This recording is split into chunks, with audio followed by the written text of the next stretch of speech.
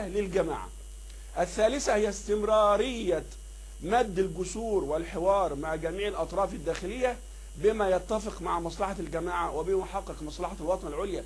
فإحنا نحن نتكلم عن الاستراتيجيات ليس يعني هي الاستراتيجيات ترتبط بإصلاحيين أو غيرهم أو مرشد أو غيره. هذه ثوابت بغض النظر عن نعم. ربما ال- ال- ال- الجهة التي كانت آه، يعني تتولى قيادة هذه الجماعة في هذه المرحلة أو لا. بالطبع سأعود إليك دكتورة فقط حتى لا نطيل على الدكتور. كمال الهلباوي آه، انضم إلينا الآن من آه، لندن المتحدث السابق باسم الإخوان المسلمين في الغرب. دكتور هلباوي أرحب بك معي في هذه الحلقة. يعني أريد أن أسمع منك تعليق وخصوصا إذا يعني أردنا أن نسلط الضوء على ما تم الحديث عنه عن تيارين محافظ وإصلاحي وقد فاز التيار المحافظ وهناك تباين في العديد من المواقف. سعادتنا أتحدث عن استراتيجية وخطوط عريضة ثابتة في آه، يعني أسس جماعة الإخوان.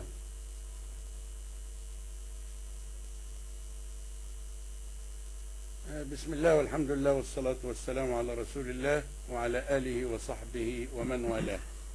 تحياتي لضيوفك الكرام الدكتور عواطف والأخ الكريم المهندس سعد الحسيني وتهنئة للمرشد الجديد الدكتور بديع وأدعو الله له التوفيق وأدعو الله للجماعة في العهد الجديد أن تسير على الاستراتيجيات الموضوعة وتطورها إلى مستقبل أفضل إن شاء الله تعالى. نعم. أنا موافق على يعني ما قيل الآن آه، ودايما أقول إنه آه، كلا التيارين في الإخوان آه، هم من الإصلاحيين. ليس هناك تيار محافظ بالمعنى السياسي المطروح عند الأحزاب الأخرى أو الجماعات الأخرى. وحركة الإخوان المسلمين هي حركة إصلاحية آه، في الأساس آه، والمفروض أن كل من ينتمي إليها يحمل هذه القضية محمل الجد ويربي نفسه ويعد نفسه لهذا الأمر. ولكن آه، ال- الذي أود أن أشير إليه أنه نقطتين اثنين. نعم. النقطة الأولى أنه من المبكر أن نحكم على أداء المرشد الجديد في حركة تنتشر في شتى أنحاء العالم آه، لها صلات ومفكرين وتعمل في جهات في منطقة وتتعرض لتعامل مع الحكومات الظالمة في جهة أخرى. آه، فهذه مشكلة كبيرة تنتظر المرشد الجديد. الأمر الثاني أن الذين أن الذين لهم رأي يخالف رأي المرشد الجديد أو رأي مجموعة ما أطلق عليها المحافظين زي الدكتور عبد المنعم والفتوح أو الدكتور حبيب أو غيره من الإخوة في الداخل أو الخارج. الكل سيلتزم كما قيل بمنهج الإخوان لأن الكل يرجو للحركة الإزدهار والنمو. إنما أداء المرشد يختلف من شخص إلى آخر. أداء المرشد أيام حسن البنا رحمة الله تعالى عليه وأداء المرشد أيام الأستاذ الهضيبي أو عمر التلمساني آه، يعني يختلف عن غيرهم في كثير أو قليل وأنا طالما قلت أن الأخ الأستاذ محمد مهدي عاكف الذي لم يرد أن يجدد آه، آه، دورته الثانية آه، قد يكون آخر المرشدين الكبار نتيجة عوامل طبيعية لا ننكرها طيب. إنه من تلامذة حسن البنا مباشرة إنه جرب سنوات طويلة إنه معروف عالميا.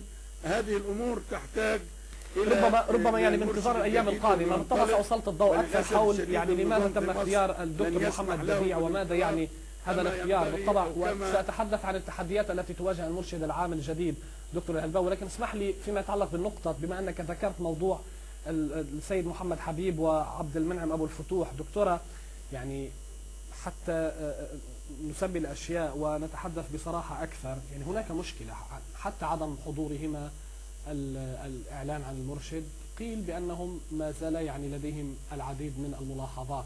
هل تعتقدين أن هذه الملاحظات ربما سيكون لها تأثير على آه، يعني دور الإخوان خصوصا أنها يعني دور الإخوان داخل مصر هو مقيد ليس ب- بالحرية آه، بالنسبة لعدم الحضور أو التواجد هذه مسائل شكلية. يعني زي ما قلت لحضرتك في بداية الحلقة عدم الحضور سيتم تفعيله واستقطاب الشخصيتين بموالاة لما ستقوم عليه الجماعة من نهج. فهذا عدم حضور آه، غضب انفعالي مؤقت سيزول وسيستمر النهج الإخواني بالنسبة لجميع الأعضاء الحاضرين وغير الحاضرين. ولكن لنا نقطة قالها الأستاذ آه، الأخ الفاضل سعد الحسيني في مسألة أن الع- العمل بالكتاب والسنة. هذا العمل بالكتاب والسنة داخل الإخوان يختلف عن بعض الجماعات الأخرى وبعض الجماعات الجديدة التي ستتواجد على الساحة المصرية. لأن المكان الساحة لن تترك خالية للإخوان فقط بعد هذا. هل هناك من يحاول إدخال بعض الجماعات الأخرى داخل الساحة المصرية لتنافس الإخوان آه، مثلا؟ أكيد لأن في دلوقتي في نوع من أنواع الجماعات الصوفية التي تريد أن تثبت نفسها لكنها لا تريد أن تتحدث بالسياسة الآن ولكنها تبدأ بالمنطلق بالعمل بالكتاب والسنة. إذا أعطيت نفس المساحة ونفس الدور ونفس التنظير الفكري قد تقف على التوازي مع ال- الإخوان. ولكن تظل هناك تظل هناك ميزة ذكية في الإخوان المسلمين وهذا ظهر من حديث ال- الأستاذ مهدي عاكف مع الأستاذة ماريا معلوف يوما بعد حرب آه، 2006 على قناة الان بي ان على ما أذكر أنه صرح لها تصريحا خطيرا. قال لها أننا مع الجميع ولك أن تدركي أن جماعة الإخوان تضم الكثير من الشيعة. هذا التصريح في ذلك الوقت يحمل في طياته ليس الإعلان عن تواجد شيعة داخل داخل جماعة الإخوان المسلمين بقدر ما يعلن.